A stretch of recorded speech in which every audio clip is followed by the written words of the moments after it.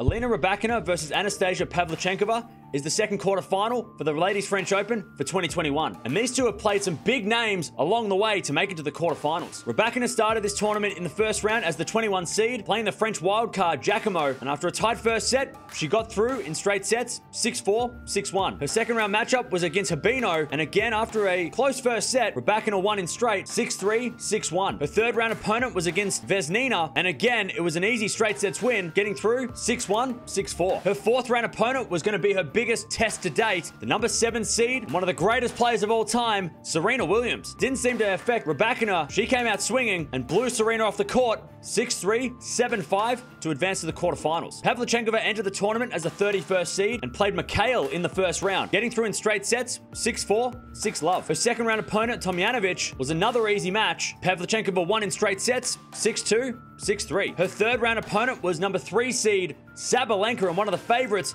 for the tournament. And after dropping the second set, Pavlyuchenkova finished real strong, getting through in 3, 6-4, 2-6, 6-love. In her fourth round, she take on another Belarusian, the number 15 seed Azarenka. And after going down in the first set, Pavlyuchenkova rebounded, came back to win 5-7, 6-3, 6-2, to advance to the quarterfinals. These two have never played before on the singles side, but they have played doubles together and actually playing doubles at the French Open this year. So they know each other's game very, very well. But it's clear who has the more experience because Pavlyuchenko has made it to the quarterfinal of every single slam, not only in singles, but also in the doubles as well. Whereas Rybakina is playing her first quarterfinal at a major. In order for Pavlyuchenkova to win, she's going to have to stop Rybakina's big hitting, her big forehand, and her big serve. It wasn't easy against Serena, and if Rybakina plays well, she's going to be beating Pavlyuchenkova just as easy as she's beaten everybody else. For Rybakina to win, she's going to have to serve well and hit that forehand like she was all this tournament. She hasn't dropped a set all week, so she is going to be feeling very good about herself, having not lost a set. But if she does lose a set to Pavlyuchenkova,